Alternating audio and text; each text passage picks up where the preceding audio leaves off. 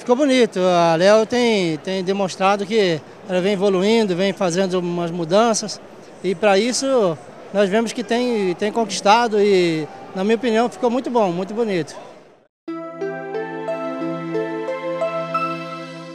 O conselho que eu tenho a dar aos meus colegas de profissão é que nós, a Medeiros Leal, comecei a trabalhar, comecei a trabalhar com a Léo Madeiras e ela nos deu um know-how, nos deu uma assistência que, trabalhando com material da Léo Madeiras, a nossa empresa tem crescido.